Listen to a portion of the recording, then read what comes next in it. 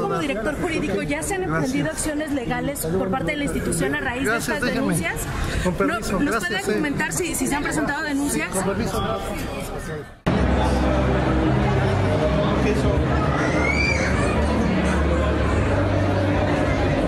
Nada más que tengo que hacer una persona. Discúlpeme, pero tengo que- me están esperando. Muchas gracias. ¿Pero va a estar por aquí? Sí, por aquí voy a estar.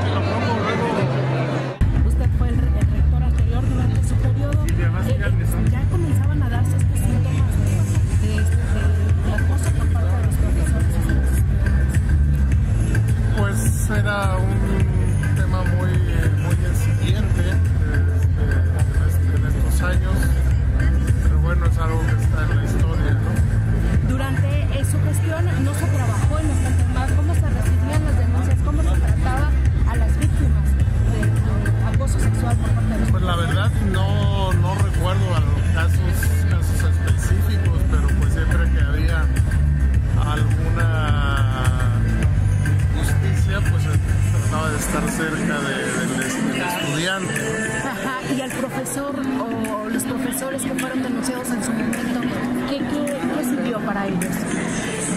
No, no hubo, no hubo casos así específicos de esto. Durante, estuvo cuatro años, ¿no? Usted en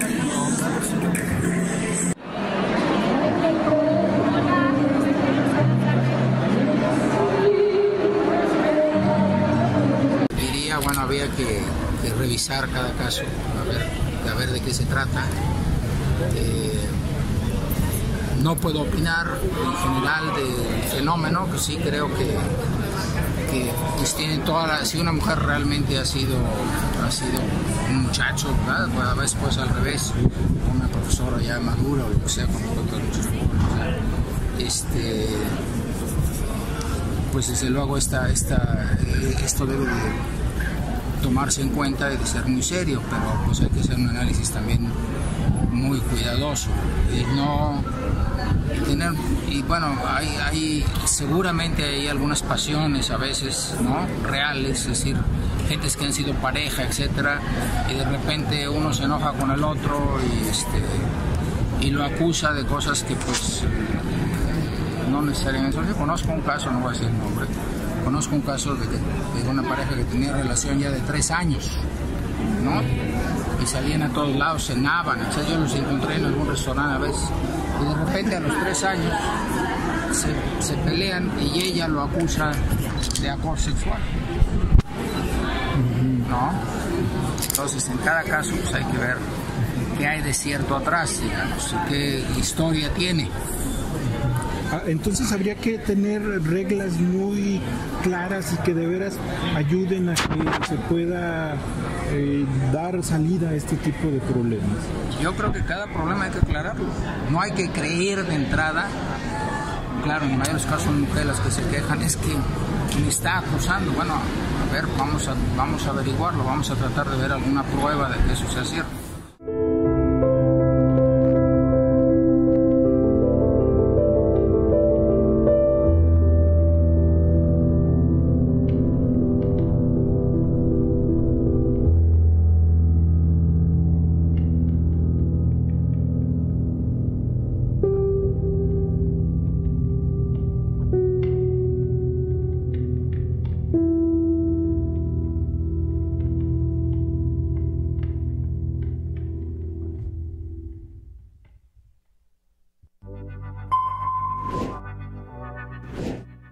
¿Qué decir? Pues hay quienes ni siquiera quieren hablar, que huyen, abogados, filósofos, dan la espalda a las preguntas. Quien se atreve a hablar como el doctor Obregón, físico eminente, pues bueno, la evidencia es que no tienen conocimiento del tema de perspectiva de género. Eh, son los profesores varones de la Universidad de Guanajuato. Yo no entiendo mucho cuando ve esto por qué no avanza el tema. ¿Por qué no eh, se trabaja a fondo en erradicar algo que es una eh, situación normalizada en la universidad? Normalizada como lo saben todos los que están ahí. La posibilidad de que nada ocurra cuando un maestro usando su poder en el aula eh, aborde a una alumna, la trate de seducir, la acose, la hostigue, la hostilice, le haga comentarios que a ella no le parecen. Hoy tiene nombre y apellido, se llama acoso sexual. Antes se podría llamar de muchas maneras. Y al respecto, hablan y lo han hecho a través de sus redes sociales, eh, valientemente, exponiendo posturas académicas de la propia Universidad de Guanajuato. En la página de Facebook de la doctora Abril Saldaña, profesora de la División de Ciencias Sociales y Humanidades, se puede leer un, post, una larga reflexión. Voy a solamente citar una frase. Dice Abril Saldaña, hoy escucho con mucho dolor al grupo de alumnas de la Universidad de Guanajuato Campus León denunciar públicamente el acoso sexual del que han sido víctimas por parte de profesores, al más puro estilo del movimiento Me Too, el cual no ha logrado grandes cosas para las víctimas, pero sí ha logrado visibilizar algo que por años se mantuvo silenciado. Escribo para explicar por qué no me sorprende esta denuncia. Escribo a partir de mi experiencia personal ¿Por qué ahora? Por las alumnas. No hay otra razón. Las conozco y las reconozco y merecen ser escuchadas. Otra profesora que en su página utiliza un seudónimo es la doctora Vanessa Góngora Cervantes, profesora de la División de Derecho, Política y Gobierno, escribe, sin duda la denuncia de las alumnas de la Universidad de Guanajuato sobre acoso sexual en la universidad merece toda nuestra atención. Yo tengo dos comentarios al respecto. El primero es sobre el argumento de cuidar la imagen institucional que ha sido utilizado siempre para negar la atención de los casos. La lógica de que es mejor que nadie se entere, sugerir el silencio o no hacer nada para que no se haga más grande el asunto, es totalmente incongruente con nuestra labor docente o administrativa de formación y protección al alumnado. También está impregnada de esa doble moral que bien conocemos las feministas el acoso sexual es malo, la violación es mala, la violencia contra las mujeres es mala, pero la culpa siempre recae en las denunciantes y se invisibiliza y protege al perpetrador. Son comunes las preguntas sobre por qué no denunció el estudiante antes, hasta dónde lo permitió ella, cómo es posible que se dejara, qué estaría buscando, etcétera. Y continúa su reflexión, que puede seguirse en su página de Facebook, ella aparece con el nombre Malinali eh, y un apellido, eh, pero bueno, aparece la fotografía de la doctora Vanessa Góngora. La maestra Sandra Estrada de la División de Ciencias Sociales y Humanidades dice en un comentario, no sé si haya mejor manera de terminar el día que viendo a mujeres valientes y organizadas levantar la voz y alzar la cara frente al acoso, sobre todo si con ellas he compartido las aulas durante varios años. Yo lo único que puedo agregar es que yo les creo, reconozco su valentía y decisión que nos abraza a todas. Soy docente y soy feminista, no de ayer ni de este año. Lo soy de un camino largo y los juicios sobre mi congruencia, voces o silencios los recibo solo de ellas. Gracias, chicas. Contrastan las posiciones, sin duda. ¿Y qué están diciendo las autoridades? Bueno, las alumnas que denunciaron públicamente a cinco profesores de Ciencias Sociales y Humanidades de la Universidad de Guanajuato ya habían mostrado su inconformidad por la conducta de los académicos desde marzo de este año de 2018. Sin embargo, no fueron atendidas debido a que sus denuncias no fueron por una vía formal. Lo reconoce el director de la división, el doctor Alex Caldera, quien estará aquí en unos minutos más y hablaremos sin duda de esto. Ayer entrevistado al término del informe del rector general, el funcionario reconoció que había habido un acercamiento entre las alumnas inconformes con esta actitud de los profesores y su dirección, pero aclaró que ello no derivó en denuncias formales. Aquí vamos a preguntarle por qué, por qué si alguien se acerca a decirle a un directivo está pasando esto, esto no deriva en una denuncia formal. Desde 2016 no hay una sola, reconoce el doctor Caldera. Y por su parte, el secretario general de la Universidad, Héctor Efraín Rodríguez de la Rosa, eh, bueno, pues fue más allá. Él dijo que es muy sencillo en los medios y en forma pública referir los casos, cosa que, bueno, pues yo, yo, dudo que haya sido fácil para estas jóvenes estudiantes hacer eso. Puntualizó que a la ventanilla de Eugenio no han llegado denuncias formales, razón por la cual las autoridades universitarias no han atendido a las estudiantes que hicieron la denuncia colectiva. Esto fue ayer en el marco del informe del rector. Vamos a ver ambas entrevistas. Quiero preguntarle sobre esta denuncia este, que se presentó eh, colectiva por, por, este, acoso sexual. ¿Cómo, actua, ¿Cómo se ha actuado desde la división de, y nosotros hemos estado abiertos, hemos estado promoviendo la utilización de los instrumentos que la universidad ha generado, como esa ventanilla Eugenio, y hemos estado recibiendo en su momento, bueno, fue el caso, las denuncias, eh, bueno, la, en este caso eh, debo decir que en el caso de ciencias solo se ha recibido una y fue hace dos años. El caso de los profesores que se mencionaron, de ellos ninguna denuncia se ha recibido.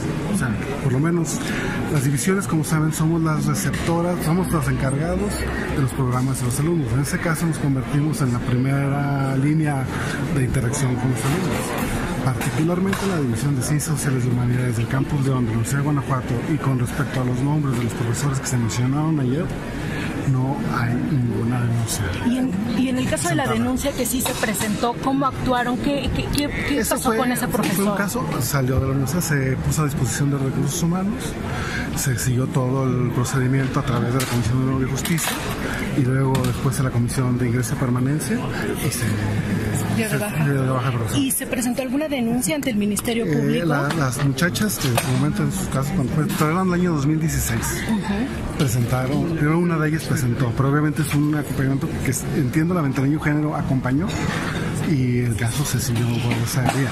Y en el caso concreto de las mujeres que, que denuncian, ¿qué acompañamiento o qué, qué- cómo, cómo se aborda para poder salvaguardar Nosotros- también sus derechos? Nosotros estamos abiertos a platicar con ella, siempre hemos, lo, hemos, lo hemos hecho, siempre hemos platicado con ella. O sea, tanto yo he estado abierto, ¿no? Particularmente para, de los casos, ellas nunca me han buscado a mí, no han que intentar, han hablado con el secretario académico de la división, obviamente siempre se les ofreció la apertura, pero en el caso particular de los nombres que dieron ayer, no hay ninguna denuncia presentada. Y de, de estas estudiantes que ayer hacen la denuncia, ¿ustedes ya han tenido algún tipo de acercamiento Sí, para con ellas, conocer? sí, sí, claro. Hemos platicado con el, el secretario académico de la división, el doctor Juan Antonio Rodríguez González, que depende de mí, ha platicado con ellas en, en- en varias ocasiones. ¿Y qué respuesta les han dado? Pues ¿Qué que adelante, de- que abierta, que presenten su denuncia, que le damos el causo eh, correspondiente y pues, hasta el momento de los nombres que se dieron ayer no se ha presentado ninguna denuncia. Y entonces no van a actuar en contra de estos profesores después de la denuncia pública. Pero necesita que se presente la, Ante la y claro, universidad. pero sí necesitamos que, porque necesitamos los hechos concretos, porque no se ha presentado un hecho concreto, es decir, necesitamos, estamos abiertos, decir, retomamos la, la denuncia, pero necesitamos que se presente formalmente. Ya las han escuchado entonces. Claro, sí. ¿Desde cuándo? Por lo menos desde marzo de este año. Muchísimas gracias. Número uno, nuevamente, un protocolo establece la forma de llevar a cabo un procedimiento, en este caso, en la institución. Eh, eh, en este momento vamos como primer, eh, primer paso a conocer de los casos, ¿verdad?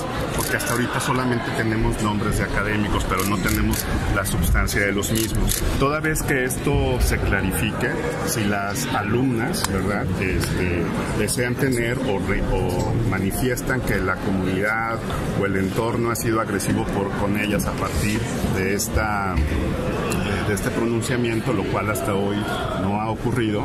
Eh, el protocolo, por supuesto, que incluye medidas de, de acompañamiento en el tenor que, De entrada, ¿ya se han acercado qué tipo de acompañamiento le están dando a estos estudiantes que se atrevieron a denunciar públicamente?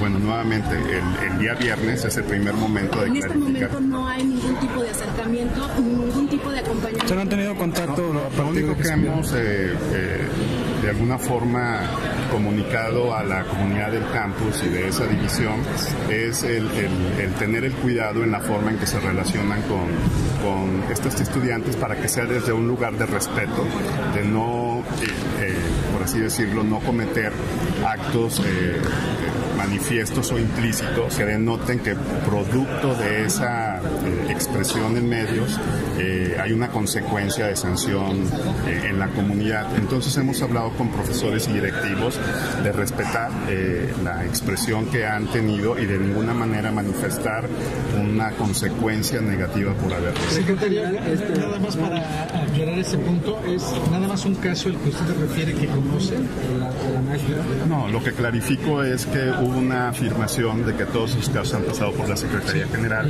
y mi afirmación es que solamente uno de ellos fue entrevistado por un servidor. ¿Y el resto? ¿No conocen datos?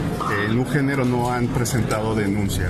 Eh, es, eso es una. Dejarlas solas durante estos días, secretario, porque sería prácticamente una semana hasta el viernes que tengan un acompañamiento o que las escuchen, no, no representa una revictimización para eh, ellas, porque ya hicieron la denuncia pública finalmente. No, no entiendo el sentido de cómo puede ser una revictimización. Porque no hay un acompañamiento, no hay un acercamiento de la institución para darle su respaldo después de atreverse a denunciar.